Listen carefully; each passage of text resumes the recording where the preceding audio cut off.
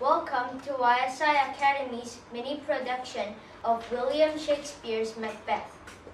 This tragic play, set in Scotland in the 11th century, is about the downfall of a man named Macbeth.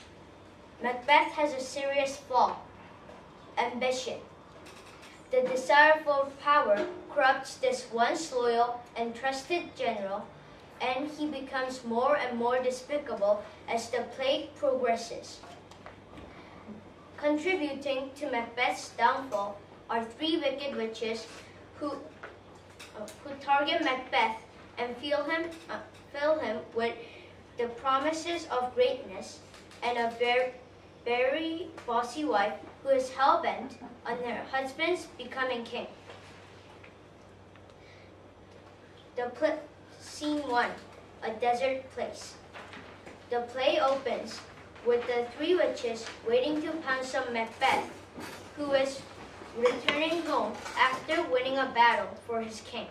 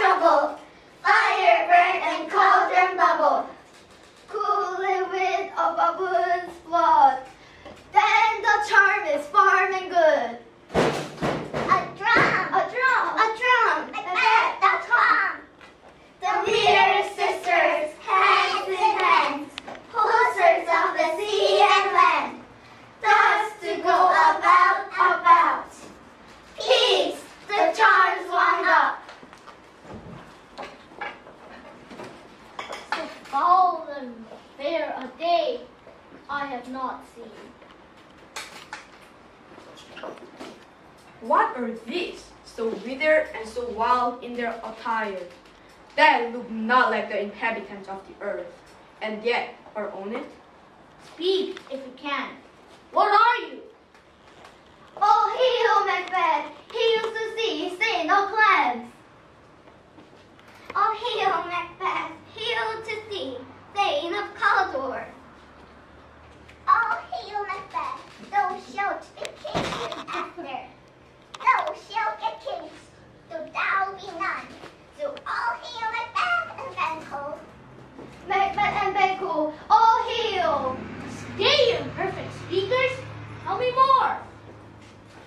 I know I did a plan, the whole horror! Did a horror right? And to be king stands not within the prospect of belief. Speak, but whither are they gone?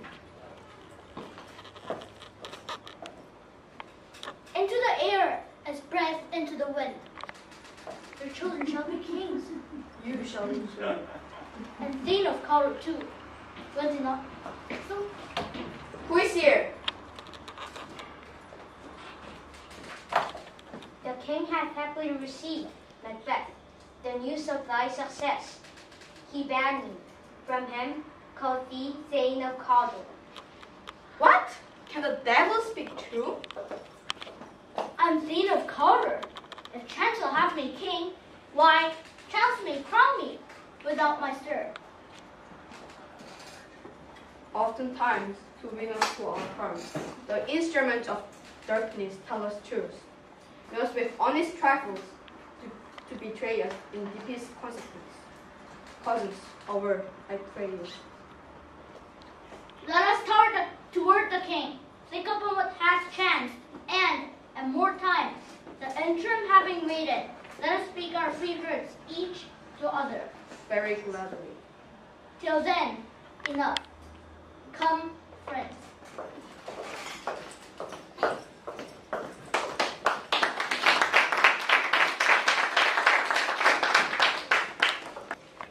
Scene 2, the palace. King Duncan thanks Macbeth and Banquo for their heroics and announces his intention to have his son, Malcolm, to succeed him as king. Macbeth is convinced that he can only become king by killing King Duncan.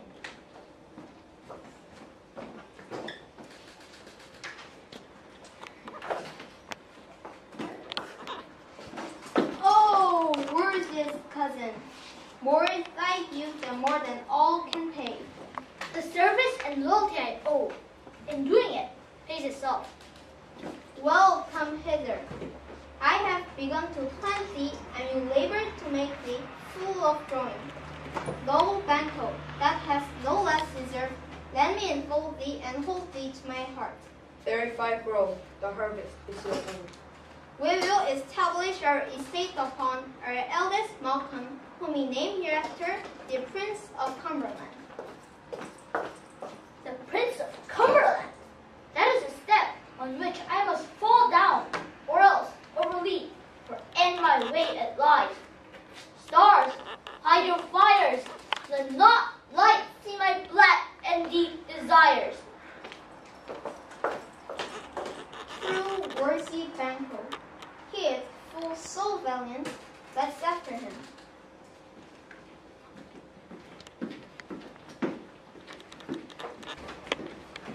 Scene 3, Inverness, Macbeth's castle.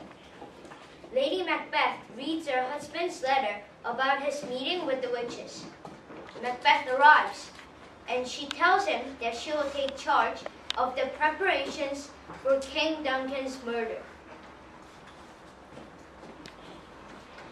came misses from the king, who all hailed me Thane of Cawdor, by which title before these rare sisters saluted me and referred me to the coming of time.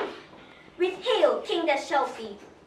This have I thought good to deliver thee, my dearest partner of greatness. Glamis the art and Cawdor, and shall be what thou art promised. Yet do I fear thy nature. It is too full of the milk of human kindness. Hie thee hither, that I may pour my spirits in thine ear. The king comes here tonight. Come, you spirits, that tend the mortal thoughts, and fill me from the crown to the top, top hole of direst cruelty. Great Glamis, worthy Cawdor, thy letters have transported me beyond this ignorant present, and I feel now the future the instant. My dearest love, Duncan comes here tonight. And when goes hence? Tomorrow, as he purposes. Oh, never shall sun the morrow see. Your face, my thane, is as a book where a man may read strange matters.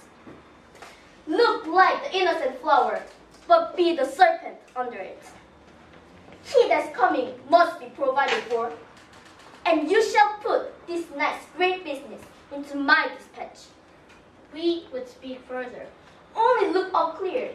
Leave all the rest to me.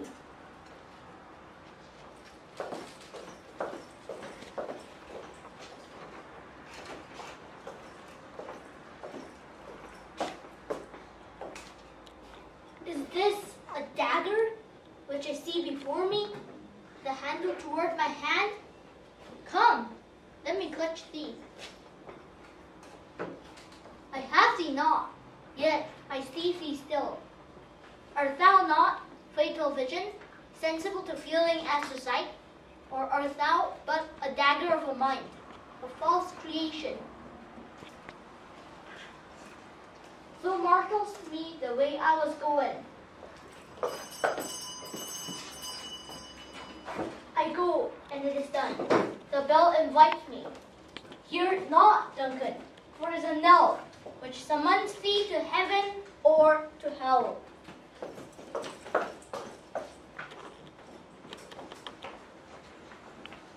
That which has made them drunk has made me bold.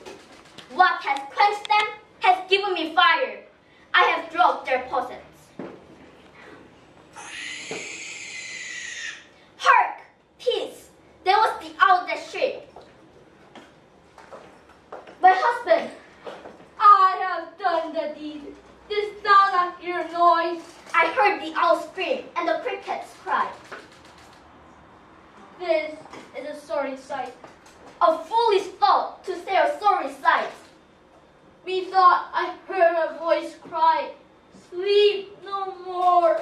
Macbeth does murder sleep, the innocent sleep, sleep that knits up the raveled sleeve of care. Macbeth shall sleep no more. Why did you bring this dagger from the place? They must lie there. Go carry them and smear the sleepy grooms with blood. I'll do no more. I'm afraid to think what I have done. Look on the pain I dare not. Infernal purpose! Give me the daggers. If it do it, I'll gild the faces of grooms withal. For it must seem their guilt.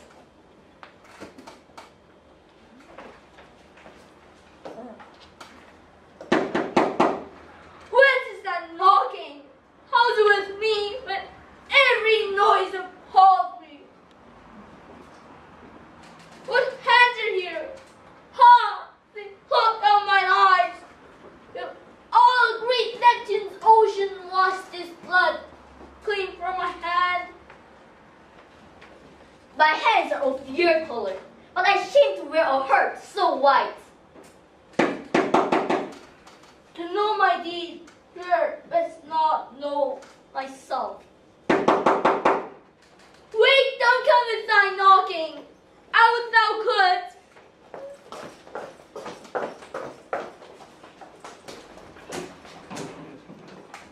After the murder of King Duncan and the flight of Duncan's sons, Macbeth was crowned king.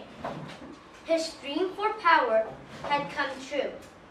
But along with this power came inse- insecurity.